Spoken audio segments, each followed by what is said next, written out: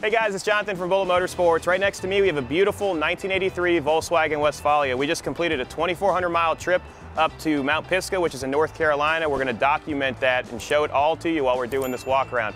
Before we go into full details on this specific van, please take a look at my t-shirt. These are limited release ride or die shirts. They're gonna be coming in cotton.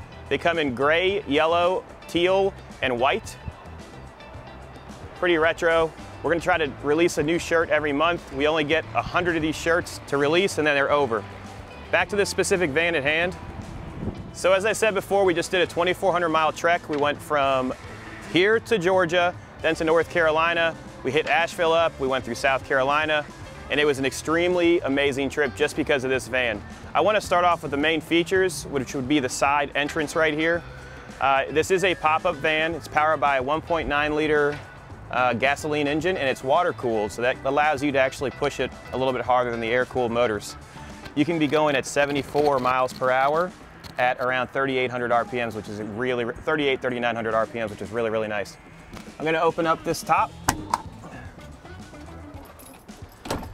And what this does is it allows you to sleep up here. This turns into a bed, so all you do is pull this down and for the first uh, night of our journey, we went to Tybee Island, which is pretty amazing.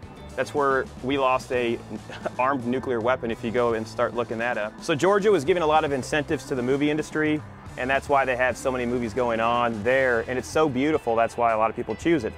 Let's go inside here. I know you don't want to hear about history.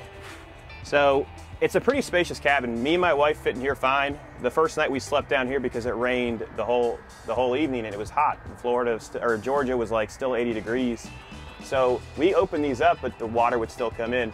This is a waterproof material, so you can keep it closed.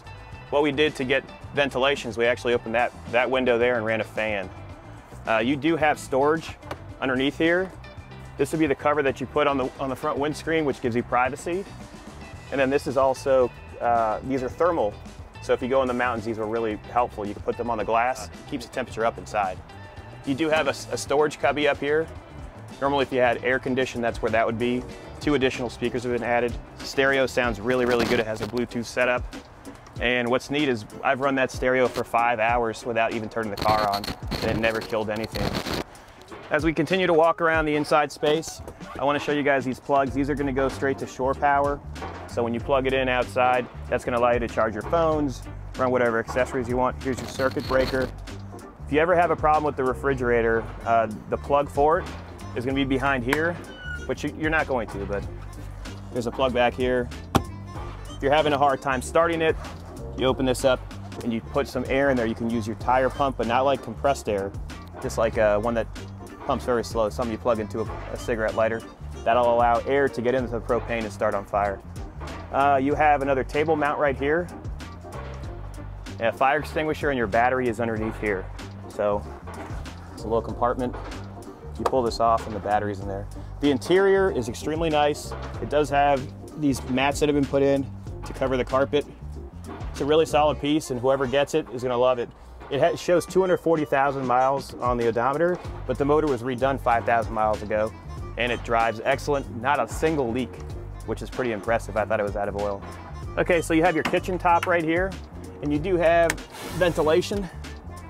So you can open this up and uh, you can cook, you know, we were doing coffee and hot chocolates, cooking hot dogs, etc. with no issues. You do have a water pump which operates. That's really helpful to clean. Um, and then you can close this and put your pans on here. Not have to worry about anything.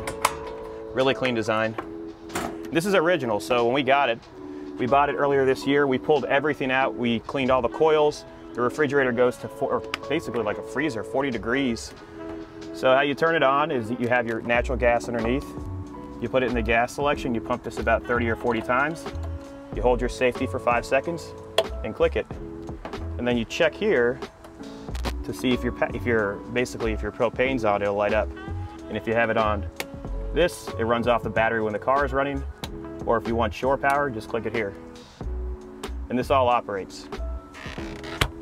You do have more storage compartments, so we kept our food, you know, our dry foods in here. And this is like our survival drawer. We had flashlights, lighters, you know, kindling to start a fire because we were in a beautiful park. And then here's your cockpit area. What I love about it, you open this door. So these chairs swivel. And they also are captain's chairs. So you see these armrests, that helps out tremendously with fatigue when you're driving. Just have your arms there, hold on to the steering wheel.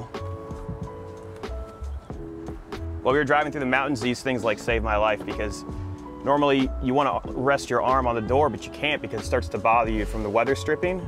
You put these bad boys down, you can adjust them up and down, and you're good to go.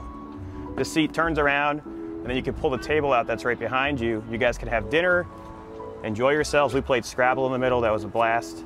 We would leave this carpet, this AstroTurf, we'd put it outside because sometimes there are rocks that would be near the door. But overall, a very nice design. Top doesn't leak. You have more storage up here. And then this is an aftermarket uh, piece, so you see that's pretty cool, the Volkswagen symbol. This comes out really easy, you need two people to put it up. And whoever buys this, if they have any questions, I mean, I just drove it 2,400 miles, I know all about it. Let's go down the driver's side. Front end looks really good. I'd rate the paint an 8 out of 10. Underneath is extremely solid. We'll have pictures in the gallery.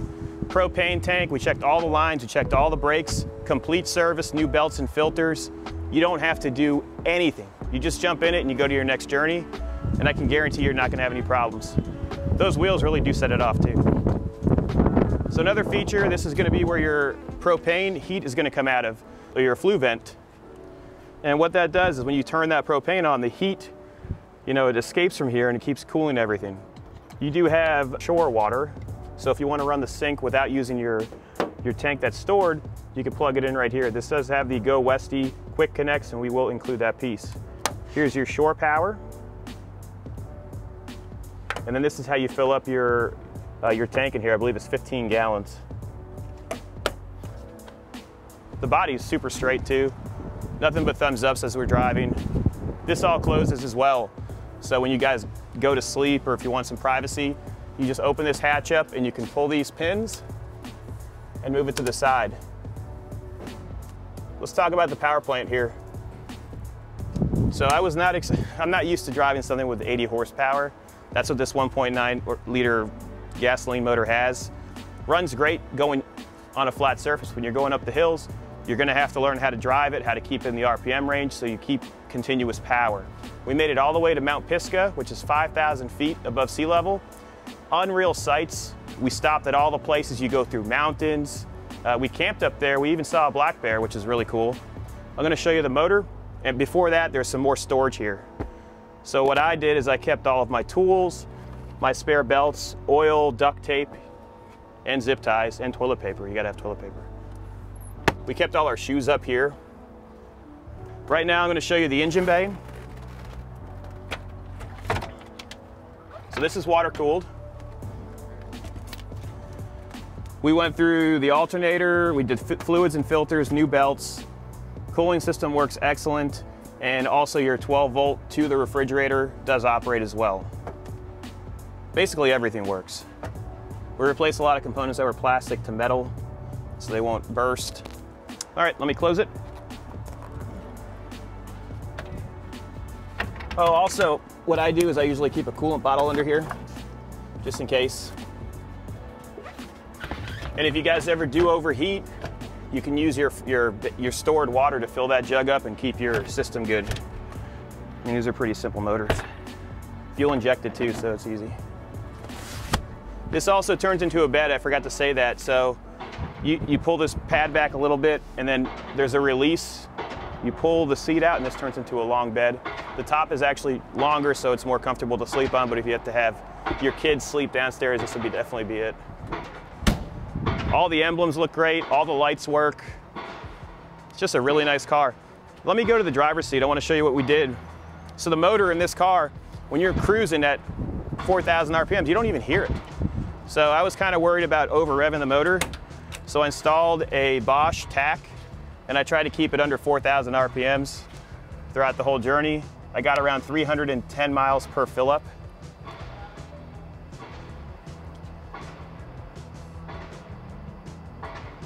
Just a nice piece, easy to drive. Uh, you'll see some clips of us driving through the mountains right now, so you can see that it actually works. And this is a real deal. It's not something that's just, that was just sitting in a warehouse and no one's used. I just tried and tested it and I give it the seal of approval from Bullet Motorsports. If you guys have any questions, if you want to finance this or if you want to transport it, there are links on our site that you can click on and that's going to give you full accessibility to shipping quotes and financing. We offer financing through three parties. Thanks again.